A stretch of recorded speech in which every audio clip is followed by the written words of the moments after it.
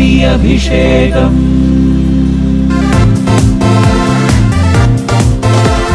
സ്വർഗീയ അഗ്നി പരിശുദ്ധാത്മ അഗ്നി ഇരുളിൽ പ്രകാശമായി തളർന്ന മനസ്സിന് ശക്തിയാ രോഗം മാറ്റും സൗഖ്യം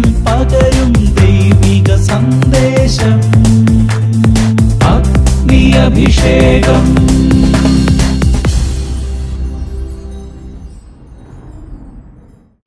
ഈശോമിശിഹായിക്ക് സ്തുതിയായിരിക്കട്ടെ. മാർവാലാഗ് ഭവനത്തിൽ നിന്നും സ്നേഹ ആശംസകൾ. ഒന്ന് കൊറിന്തിയോസ് അഞ്ചിൽ വിശുദ്ധ പൗലോസ്ലിക പറയുന്നു ക്രൈസ്തവ വിശ്വാസം ലൗകിക വിജ്ഞാനത്താലുള്ളതല്ല. മറിച്ച് സന്മാർഗ ജീവിതത്തിലും പരസ്നേഹ പ്രവൃത്തികളിലും അഭിവൃദ്ധി പ്രാപിക്കുക എന്നതാണ്.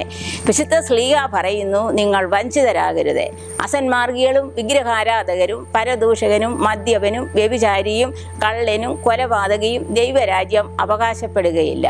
വിശുദ്ധ സ്ലീഹ ഒരു പടി കൂടി ഉയർത്തി പറയുന്നു ഇങ്ങനെ ഉള്ളവരുമായി സമ്പർക്കം പാടില്ല. നീ സഹോദരൻ എന്ന് വിളിക്കുന്നവൻ അസന്മാർഗിയോ വിഗ്രഹാരാധകനോ പരദൂഷകനോ മദ്യപനോ വ്യഭിചാരിയോ കൊലപാതകയോ ആണെന്ന് കണ്ടാൽ അവരുമായി സമ്പർക്കം പാടില്ല. അവനുമായി ഒന്നിച്ചു ഭക്ഷിക്കുക പോലും അരുത്. ഇവർ ലോകത്തിനെ പ്രകാശവും ഉപ്പും ചൈതന്യവുമാകേണ്ടവരാണ്. വിശുദ്ധ സ്ലീഹ പറയുന്നു ലോകത്തിൽ ആകമാനമുള്ള ജനത്തോട് അല്ല ഞാനിത് പറയുന്നത്. സഭയിലുള്ള മക്കളോട് മാത്രമാണ് സഭാ മക്കളോട് മാത്രമാണ് വിശുദ്ധ സ്ലീഹ ഇപ്രകാരം പറയുന്നത്. ഇന്ന് സഭയിലും സമൂഹത്തിലും അക്രമങ്ങളും തിന്മകളും കടന്നു വരാതെ ഇരിക്കുവാൻ നമ്മൾക്ക് മുൻകരുതലുകൾ വേണം. ഇങ്ങനെയുള്ളവരെ നമ്മൾ തിരുത്തണം. ഇങ്ങനെയുള്ളവരെ നമ്മൾ സ്നേഹിക്കുകയും തിന്മയെ വെറുക്കുകയും ചെയ്തുകൊണ്ട് വേണം ഇവർക്ക് നമ്മൾ തിരുത്തലുകൾ കൊടുക്കുവാൻ. ഇവർക്ക് തിരുത്തലുകൾ കൊടുത്ത് ഇവരെ വിശുദ്ധീകരിച്ച് ദൈവത്തിനും സഭയ്ക്കും സമൂഹത്തിനും രാഷ്ട്രത്തിനും പ്രയോജനമുള്ളവരാക്കി മാറ്റണം. ഇങ്ങനെ ചെയ്യണമെങ്കിൽ പരിശുദ്ധാത്മാവിന്റെ കൃപയും ശക്തിയും ധൈര്യവും നമുക്ക് ആവശ്യമാണ്.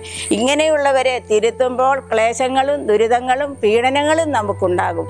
അതിനെ അതിജീവിക്കുവാൻ പരിശുദ്ധാത്മാവ് നമുക്ക് ശക്തി തരും. ഈ വലിയ ഒരു അറിവിൽ നമുക്ക് ജീവിക്കാം. ഇങ്ങനെയുള്ളവരെ തിരുത്തി ദൈവ മക്കളുടെ സ്ഥാനത്ത് അവരെ ആക്കി ദൈവരാജ്യത്തിനും സഭയ്ക്കും സമൂഹത്തിനും പ്രയോജനമുള്ളവരാക്കി തീർക്കുവാൻ പരിശുദ്ധാത്മാവിനോട് നമുക്ക് പ്രാർത്ഥിക്കാം. പരിശുദ്ധാത്മാവ് നമ്മെ എല്ലാവരെയും സഹായിക്കട്ടെ. ആമേൻ.